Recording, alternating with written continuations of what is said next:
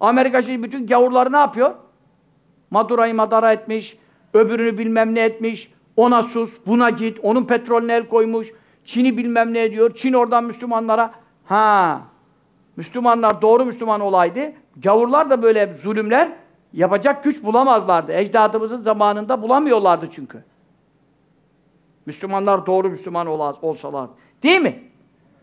Ha Timur Lenk mübarek adam orada gelip yıldırımla uğraşıyor öbürü. Müslümanlar birbirine. Halbuki birleşseydi İslam alemi ne olacaktı? Bütün e, Batı Avrupa şu anda Müslüman olmuş olacaktı. Çin'e kadar Timur Çin'e giderken zaten öldü.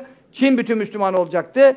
Dünya e, huzura kavuşacaktı, barışa kavuşacaktı. Ama Müslümanlar taht kavgası, efendim köşk kavgası, benim malım, onun veliahtın, onun şehzadesi birbirine yediler.